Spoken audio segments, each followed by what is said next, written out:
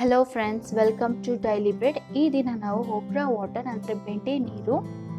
ಇದನ್ನು ದಿನ ಸೇವಿಸೋದ್ರಿಂದ ನಮ್ಮ ದೇಹದಲ್ಲಿ ರಕ್ತ ಒತ್ತಡ ಅಂದರೆ ಬ್ಲಡ್ ಬ್ಲಡ್ ಪ್ರೆಷರ್ ಕಂಟ್ರೋಲಲ್ಲಿ ಅಂದರೆ ನಿಯಂತ್ರಿಸಬಹುದು ಎಂಬುದಾಗಿ ಸಂಶೋಧಕರು ತಿಳಿಸಿದ್ದಾರೆ ಮತ್ತು ಸೈಂಟಿಫಿಕ್ ಆಗಿ ಕೂಡ ಇದು ಪ್ರೂವ್ ಆಗಿದೆ. ಪ್ರತಿದಿನ ಬೆಳಗ್ಗೆ ಮತ್ತು ಸಂಜೆ ಊಟಕ್ಕಿಂತ ಮುಂಚಿತವಾಗಿ ಇದನ್ನು ಸೇವಿಸೋದ್ರಿಂದ ಬಿ ಪಿಯನ್ನು ನಿಯಂತ್ರಿಸಬಹುದು. ಬೇಕಾಗುವ ಪದಾರ್ಥ ಮೂರು ಬೆಂಡೆಕಾಯಿ ಮತ್ತು ಬಿಸಿ.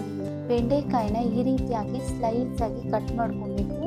ಈ ರೀತಿಯಾಗಿ ಕಟ್ ಮಾಡ್ಕೊಳ್ಳೋದ್ರಿಂದ ಬೆಂಡೆಕಾಯಿ ಸೆಲ್ಸ್ ರಪ್ಚರ್ ಆಗಿ ಅದರಲ್ಲಿರುವಂಥ antioxidants medicinal property protein ಇದೆಲ್ಲ ಹೊರ ಬರುತ್ತೆ ಬಿಸಿನೀರು ಹಾಕೋದ್ರಿಂದ ಅದು ಬೇಗನೆ ಜೆಲ್ ಫಾರ್ಮೇಷನ್ ಆಗಿದೆ.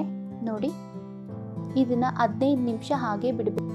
ನೋಡಿ ಫಿಫ್ಟೀನ್ ಮಿನಿಟ್ಸ್ ಆದಮೇಲೆ ತುಂಬ ಚಂದವಾಗಿ ಜೆಲ್ ಫಾರ್ಮೇಷನ್ ಆಗಿದೆ. ಅದರಲ್ಲಿರುವಂಥ ಎಲ್ಲ ಮೆಡಿಸಿನಲ್ ಪ್ರಾಪರ್ಟಿ ಹೊರ ಬಂದಿದೆ. ಈಗ ಹೆಲ್ತಿ ಆದಂಥ ಓಕ್ರಾ ವಾಟರ್ ರೆಡಿ ಆಗಿದೆ.